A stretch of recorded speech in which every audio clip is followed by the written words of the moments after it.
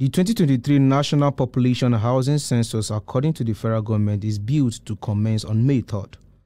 Ahead of the exercise, the Director of Public Enlightenment Mass Mobilization Department of the National Orientation Agency, Teresa Madukwe, says the level of public enlightenment and preparedness for the 2023 head count is at its zenith and urged Nigerians to make themselves available for the exercise. Preparation is ongoing and is high, but not without challenges, you know.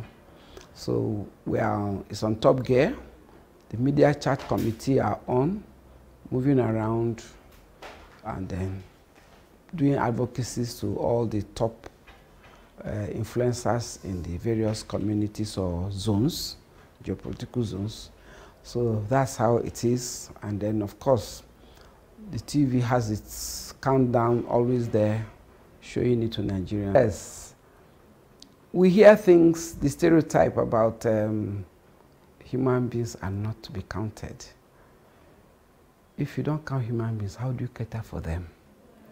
You hear people saying, oh, you don't count a pregnant woman, lest the baby dies in the stomach. No, that's not true.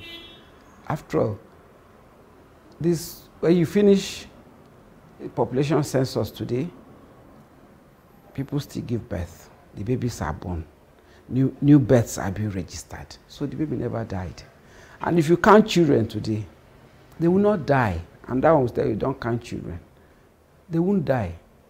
I can assure them of that. Nigerians say they are ready for the coming census, saying it is their civic responsibility. It's good for the country to be aware of the citizens they have. Well, if, if they are aware of us, then they will be sure, our, our, our government will be sure of the people they have, they will be sure of the citizens on ground, um, employments can be created. We are all prepared, we are all looking forward to it, you know, considering that we just uh, came out from an election. So I'm sure everybody, the whole Nigerians, they are happy with uh, the federal government's preparation for it. So we're okay with it. Last census we did, I think the last one, the result was about 140 million.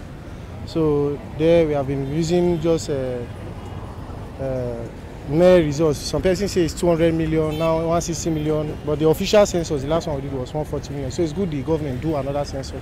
At the time of this report, efforts to confirm the level of preparedness on the part of the National Population Commission were not fruitful. However, the Commission has earlier assured that with the right logistics and funding, it will deliver an effective head count for the nation. Noel Samson, Trust TV News, Abuja.